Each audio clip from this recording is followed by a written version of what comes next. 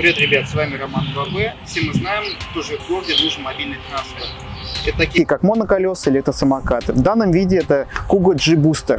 На самом деле народный электросамокат. Почему народный? Да потому что он реально классный. Почему классный? Потому что здесь есть мощь, динамика и удобство. Ну, все по порядку. Начнем снизу. Здесь у нас колеса. Каждое колесо это 1200 ватт. В совокупности дает 2400. В принципе, здесь полнопривод. На нем можно ездить везде по бездорожью.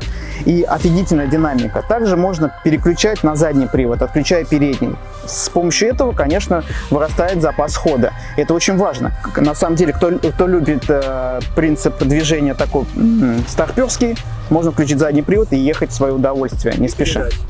А? Три передачи. Три передачи? Да. А где переключается? Там кнопку а. нажимаешь и три передачи. Плюс еще есть три передачи, да. С помощью, здесь есть газ, здесь газ как бы возрастающий. С ним надо играться поосторожнее, потому что можно так нажать, что он просто уйдет из-под ног. Такие были моменты, об этом дальше в видео. Дальше у нас идет дека. Дека у нас широкая и удобно стоять. Можно стоять стоя ехать, и, и поставить спереди красивую девушку, создавая хорошую динамику езды, но чтобы она сильно прижималась. Э, Дега большая, в ней же вмещается большая батарея, где-то около 23 матч и 48 э, вольт, поэтому здесь э, запас хода хватает где-то на 70 километров, но в реале люди говорят на 50. Все зависит от веса райдера. Все, тут нужно играть с развесовкой. Если будет вес где-то 100 килограмм человеку, тогда ему хватит проехать всего-то где-то 45 километров. Ну, все, в принципе, надо играть развесовкой. Подвеска здесь классная. Здесь э, высотомерная подвеска, которая отрабатывает классно все кочки. Можно, правда, с помощью полного привода и с хорошей подвеской можно ну, просто нереально ездить и прыгать с бордюра, съезжать, и ездить по ухабам, по лесу. Вообще, сам это электросамокат, он такой как бы э, мотоцикл эндуро, да, и можно ездить, в принципе, где угодно, когда угодно, при какой погоде. Но самое главное при погоде. Плохую погоду, конечно, нежелательно, потому что Китай китайцы хитрые, они нам везде, куда угодно продают э, транспорт электрический, но не загерметизирован, поэтому лучше обработать от воды, там герметиком или силикончиком э, в области деки снизу э, обработать. Также интересный момент, что сама дека есть габариты, есть сзади габариты и, и спереди. Э, отлично, потому что это упрощает вид э, в темную погоду, и пешеходы могут увидеть и, и машины на заднем плане. Тоже классно. Это безопасность, это очень важно. Несмотря, что это бюджетный самокат, здесь у нас дисковые тормоза и спереди, и сзади. Но многие владельцы говорят, тормоза не особо хорошие. Они могут плохо отработать при большой скорости, потому что ну, скорость здесь, скорость. Можно разогнаться около 70 километров. Говорят, кто-то можно череповать и еще больше ехать, большей скоростью. Но, ребят, лучше ехать где-то 50, а тормоза, лучше на них не надеяться. Тормоза должны быть в голове, ребят, в голове. Дальше у нас идет сидушка. Сидушка, конечно, она а, облегчает езду, она просто, просто разгружает спину, и динамика становится более предсказуемой на езды. Почему? Потому что сидишь, центр тяжести понижается, тем самым можно ехать и контролировать езду более-менее. Ну, нельзя, конечно, как бы расслабляться, потому что здесь колесики маленькие, но не особо маленькие, в отличие от других электромобилей электросамокатов. Здесь, конечно, э, радиус колеса, не радиус, а диаметр диаметр 10 дюймов. Это, в принципе, хорошие, хорошие колеса, большие. Здесь надувные, не какие-то там пластиковые, не какие-то там э, пластмассовые, там из какой-то резины цельные. Здесь накачивается, да, есть баллонные колеса, конечно, легко прокалываются, или а, пустотелые, да, но есть хитрые колеса, которые внутри есть смола. Они спасают от проколов, они, которые сами себя заживляют. Это новая такая технология колес, которую можно заказать на Алиэкспресс с Китая. Дальше мы видим раму. Рама у нас складная. Она удобно складывается за счет такого кругляшка. Там она вставляется хорошо, хорошие фиксаторы, и она особо не люфтит. В принципе, даже сейчас она не люфтит, хотя самокату около полтора года и проехал около 500 километров. Это, это очень важно. Дальше у нас идут фары. Отличные, в принципе. Они, так как они линзованные, и светят как стробоскопом, но они светят ночью просто, просто жесть. Просто можно кого угодно ослепить. Так что, ребят, настраивайте лампочки пониже. Ну, что они хорошо светят, и они здесь э, двойные, это хорошо. И они защищены хорошим кожухом, таким алюминием. Сама балка здесь, она тоже такой из прочного алюминия. Она, в принципе, прочная и, э, и надежная. Это тоже очень важно. Дальше у нас идут э, ручки.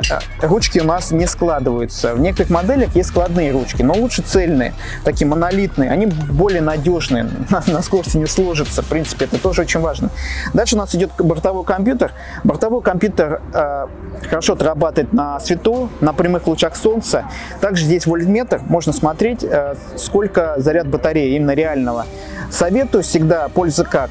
При 53 вольт ехать спокойно на полном приводе. Когда падает до 42, ребят, отключайте, лучше включите заднюю, заднюю скорость, заднюю мотор-колесо и ехать спокойно в заднем мотор-колесе. И это увеличивая, э, э, как сказать, расстояние езды. Также у нас есть переключатели скорости на правой стороне и э, как это зажим акселератора, которым очень сложно управлять. Нужно просто приноровиться, ребят. В принципе, ничего страшного. Что он уйдет из-под ног, это бывает, это обычное явление.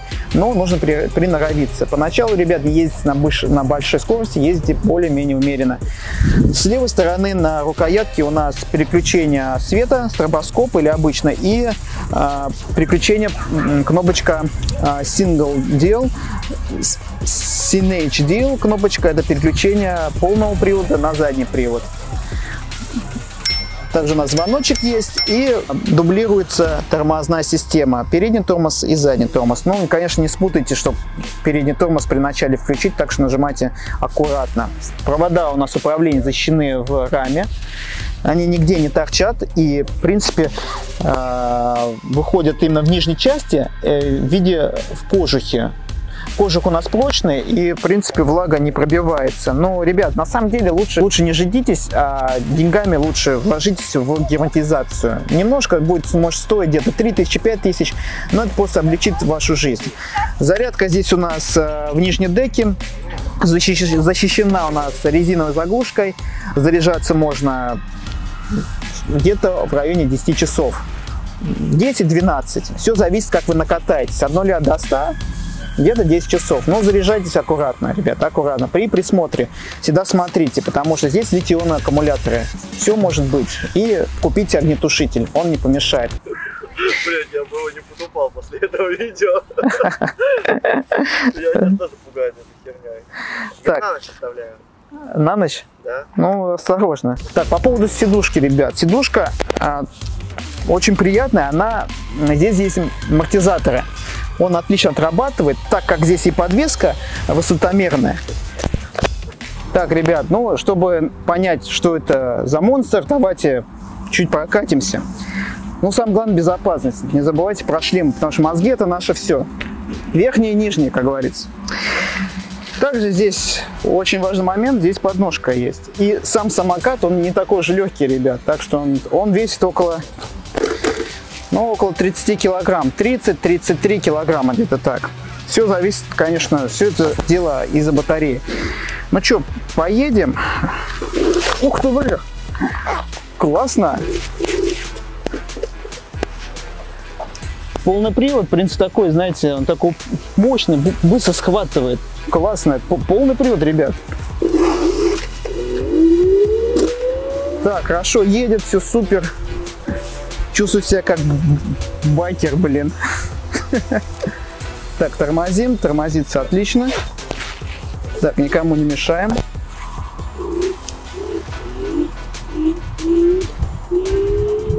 Вот как байкер себя чувствую, аж вот так ногами держусь. Также можно в стоечку встать, едешь такой, нормально, обгоняет. Ну ничего, ничего, сейчас мы его догоним. Блин, быстро схватывает, ребят, вообще. Но эффект парусности, конечно, открывается большой при стое. Лучше, конечно, конечно, лучше сидя ехать. Но это все зависит от динамики. Чуть-чуть съедем, проедемся по на детской площадке.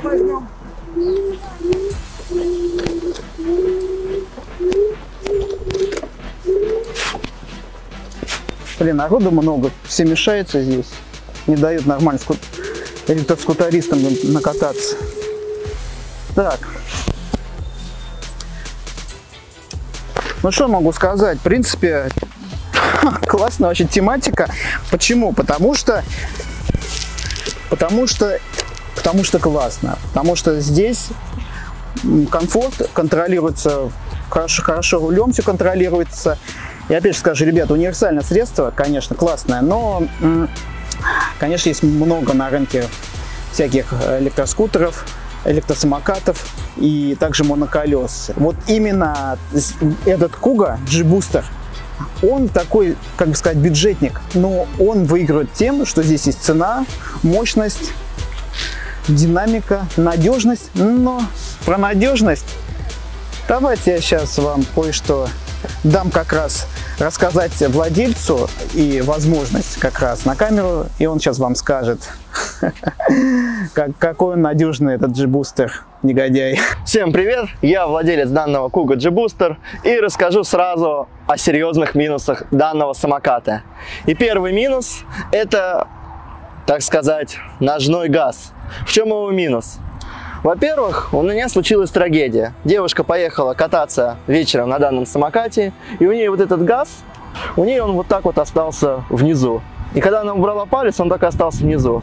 Там начались кочки, и она разлетелась и перевернулась на этом самокате. У нее там были сломаны ребра, а, травмировала немного голову, но тем не менее осталась в живых. Самокат, в принципе, не пострадал после такого жесткого падения. Максимум, вот у него сломались тормоза. Если обратить внимание, то здесь уже другая ручка тормозов. Здесь одной фирмы, здесь уже другой. Ну, она отломалась пополам. Следующий косяк, который я стал наблюдать в этом самокате, это резина, особенно заднее колесо.